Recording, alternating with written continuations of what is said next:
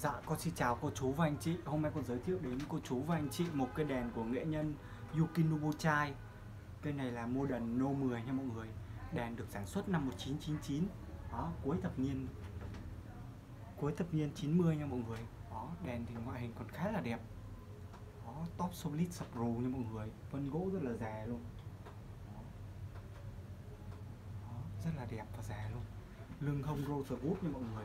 Đó, bộ gỗ rosewood rất là đẹp. Có chỉ lưng luôn nha mọi người. Đó, cây này thì cần thẳng tắp luôn. Đó được trang bị bộ khóa dập chân vô cùng cao cấp nha mọi người. Đó đây bộ khóa dập chân vô cùng cao ốc. Đây có có cả ốc để ờ, thay thế hoặc là sửa chữa nha mọi người. Đó bộ khóa dập chân vô cùng xịn thường chỉ gắn trên mấy cây cao cấp thôi nha mọi người.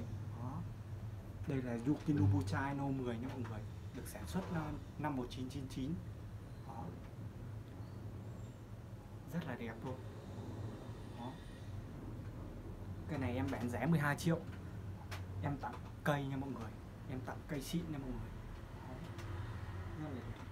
Em bảo hành 2 năm, em giao hàng trên toàn quốc nha mọi người đó. mời mọi người cùng lắng nghe âm thanh Thank you.